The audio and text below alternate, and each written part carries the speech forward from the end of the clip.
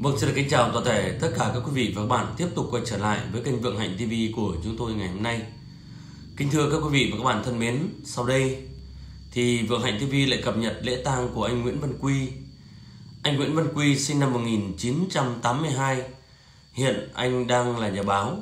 Không may anh bị mắc phải căn bệnh hiểm nghèo. Mặc dù cũng đã được các bác sĩ tận tình cứu chữa và gia đình hết lòng chăm sóc Xong vì căn bệnh quá nặng, anh đã chút đi hơi thở cuối cùng, đã về với tổ tiên. Sau đây lễ truy điệu của anh diễn ra như thế nào?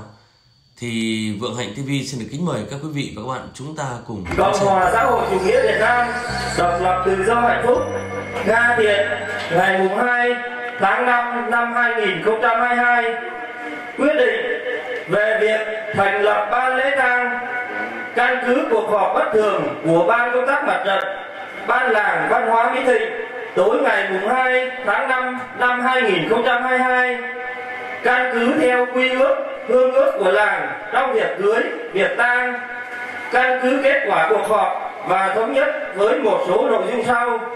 Điều một thành lập ban tổ chức lễ tang anh Nguyễn Văn Quy gồm các ông bà có tên sau.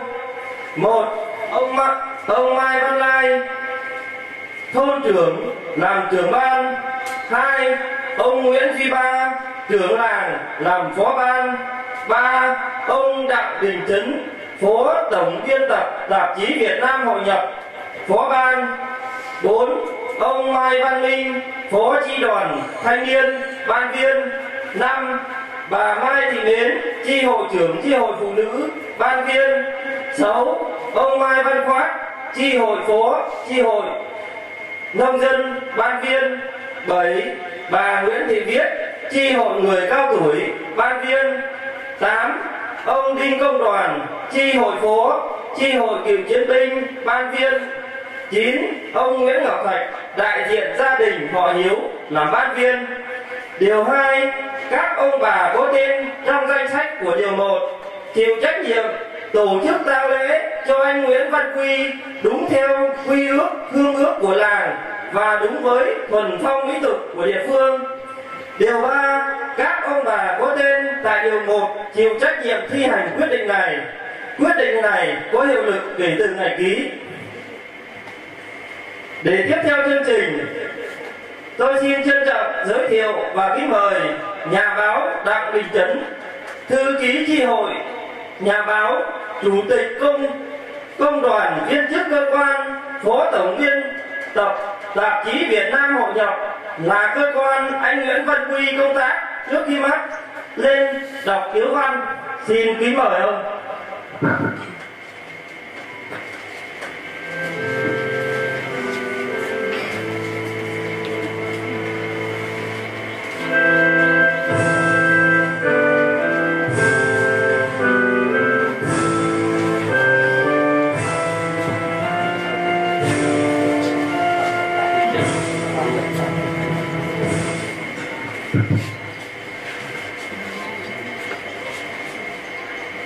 Thưa linh đồng chí Nguyễn Văn Quy.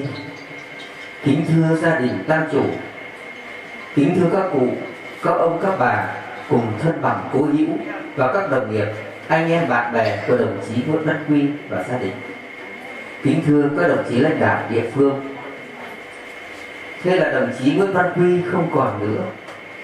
Mặc dù các y bác sĩ hết lòng chữa trị Được gia đình và cơ quan hết sức chăm lo cứu chữa nhưng do bệnh tình quá nặng, đồng chí đã từ trần vào hồi 20 giờ 48 phút ngày 1 tháng 5 năm 2022 nhằm ngày 1 tháng 4 năm nhâm dần.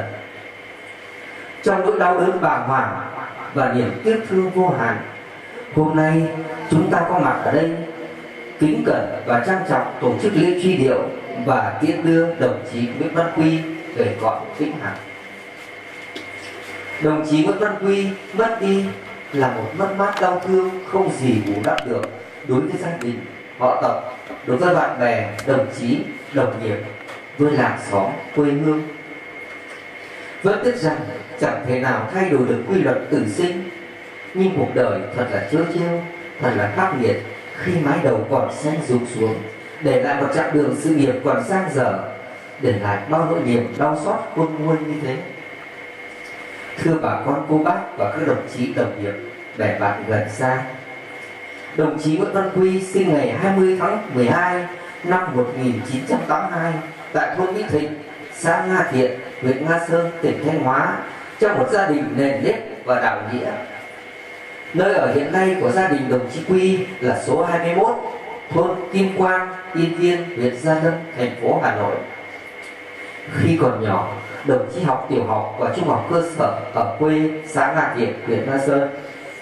Năm 2002, đồng chí chuyển vào học tại trường trung học cơ sở Phú Thiện, huyện Phú Thiện, tỉnh Gia Lai. Từ năm 2002 đến năm 2005, học tại trường trung học phổ thông Lê Quý Đôn, huyện Phú Thiện, tỉnh Gia Lai. Tuy có nhiều khó khăn, thiếu thốn trong điều kiện chuyển trường, chuyển nơi ở và học hành, nhưng học ở đâu, đồng chí Quy ngày ấy vẫn luôn cố gắng, luôn là người con ngoan trò giỏi. Nhưng rồi một nỗi đau buồn ập đến gia đình. Năm 2005 mẹ mất đồng chí trở về làm việc tại quê. Năm 2006 lập gia đình và từ 2006 đến 2008 đồng chí vào học trường cao đẳng nghề cơ giới Ninh Bình. Từ năm 2008 đến 2010 đồng chí làm việc tại công ty Vinama Bình Sơn Thanh Hóa từ năm 2011 đến năm 2014 đồng chí học trường cao đẳng phát thanh truyền hình 1 tại thành phố Phủ Lý, tỉnh Hà Nam. Và sau khi ra trường cho đến năm 2018, đồng chí công tác tại báo Công lý. Mặc dù vậy, với khát vọng vươn lên và công hiến nhiều hơn, từ năm 2016 đến năm 2018, đồng chí học liên thông đại học tại Đại học Tài chính Ngân hàng. Đó là những năm tháng đồng chí tập trung học tập và tích lũy cho mình kiến thức và kinh nghiệm với mong muốn sẽ thực sự phát triển sự nghiệp đúng với niềm đam mê của mình. Sự nghiệp làm báo. Dù làm gì ở đâu đồng chí vẫn luôn nhiệt huyết với công việc luôn có trước có sau với mọi người với khát vọng cháy bỏng được làm báo thực thụ từ năm 2018 đến nay, đồng chí Nguyễn Văn Quy đã trở thành một phóng viên, một nhà báo của tạp chí Việt Nam Hội nhập.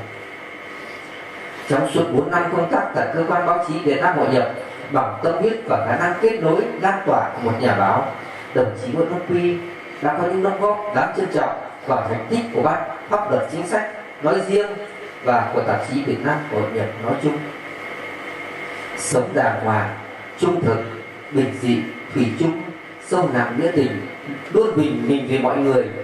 Coi phẩm chất của nhà báo, người làm báo chân chính là kim chỉ nam cho mình trong quá trình công tác. Đồng chí Nguyễn Văn Quy được đồng nghiệp quý trọng, tin tưởng được bạn bè, anh em yêu mến, sẻ chia. Đồng chí cũng là một người có tâm, trong sáng, luôn đoàn kết, gắn bó với mọi người, nhất là với các đồng nghiệp tuy sống và công tác ở xa. Nhưng đồng chí vẫn luôn hướng về quê hương, luôn đau đáu nhớ về nơi mình sinh ra và lớn lên với tình cảm sâu nặng của một người con xa xứ.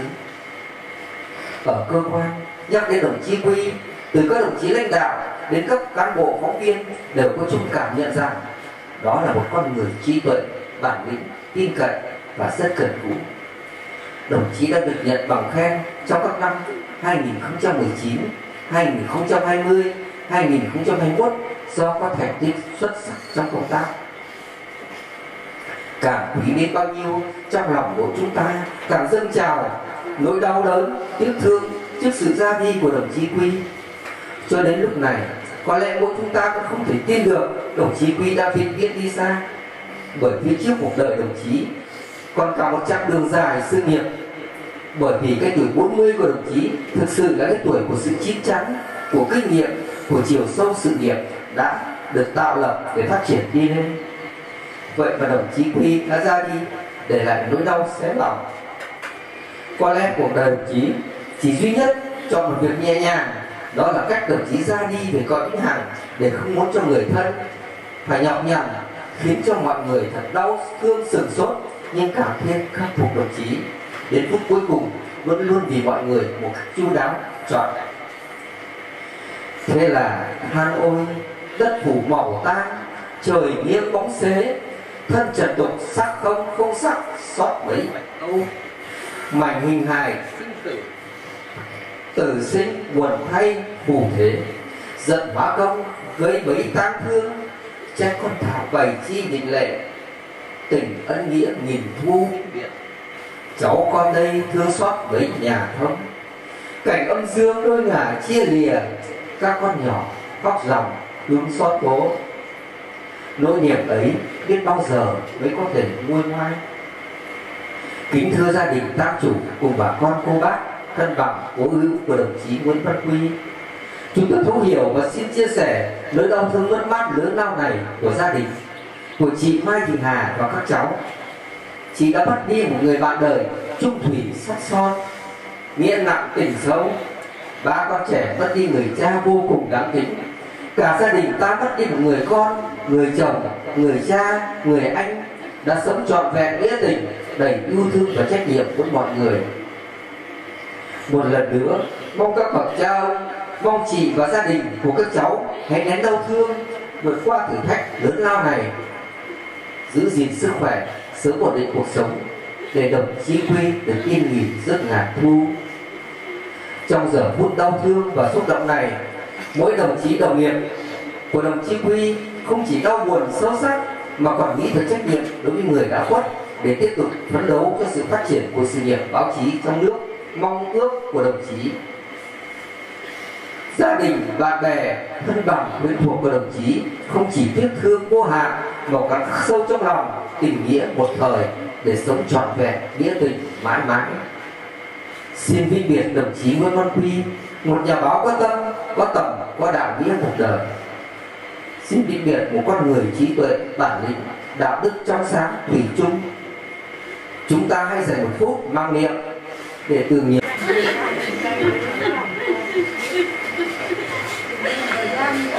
để tiếp theo chương trình tôi xin trân trọng giới thiệu và kính mời ông Nguyễn Ngọc Thạch, đại diện cho gia đình họ Hiếu lên phát biểu lời cảm ơn. Xin trân trọng kính mời ông.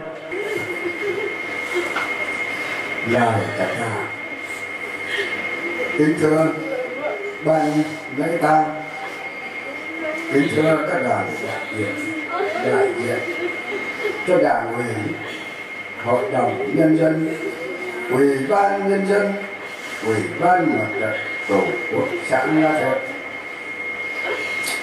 kính thưa các đoàn thể ban đảng ban thôn chi hội tổ chiến binh chi đoàn thanh niên, tổ an ninh xã hội, thôn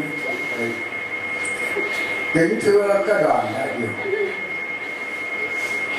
của quý báo đài, quý cơ quan, quý công ty, hội đồng môn hội đồng niên, cô trò lớp học, kính thưa trong đoàn thể nhân dân, thôn mỹ thị các cụ ông, cụ bà, gia đình thông gia, anh em nội ngoại, bạn bè, thân hữu xa gần, các gia đình xóm giềng.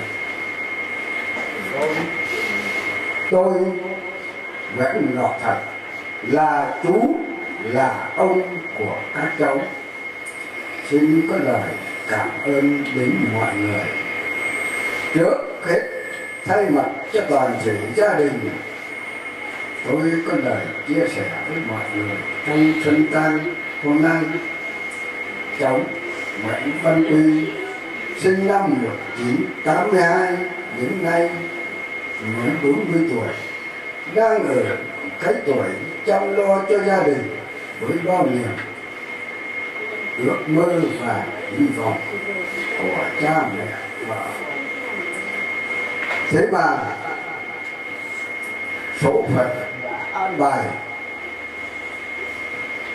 Cháu tôi đã mắc phải một căn bệnh quá hiểm nghèo, không thể chạy chữa được.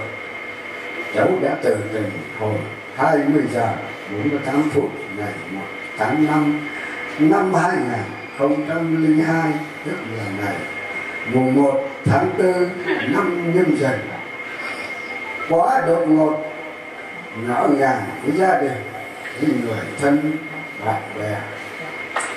Cháu quý ơi dẫu cho đôi ngã chia ly ông dương cách biệt nơi suối vàng yên nghỉ. Sống khôn, biết thiêng, phù hộ độ trì cho gia đình. Chú tin rằng đau thương này sẽ qua đi. Vợ con và các em của cháu sẽ vượt, vươn lên xây dựng cuộc sống như cháu hằng mong ước. Kính thưa toàn thể các cụ ông, cụ bà đại biểu và mọi người trong sân đan thay lập cho gia đình được cảm ơn. Ban lễ tang các đoàn đại biểu, các đoàn thể, các chi hội chi đoàn, quý cơ quan, quý báo đài, anh em nội ngoại, các gia đình thông gia bạn bè thân mến, đặc biệt là nhân dân thôn Mỹ Thịnh đã đến chia buồn cùng với gia đình mỗi người một việc. Lo tang cho cháu về nơi an nghỉ cuối cùng bằng tình cảm. Nhiệt tình trách nhiệm và chu đáo nhất. Giờ đây không biết nói gì hơn. Trong lúc tham gia bối rối, có gì khiếm khuyết? Mong mọi người nhận thứ gia đình chúng tôi xin chân thành cảm ơn, xin chân thành cảm ơn.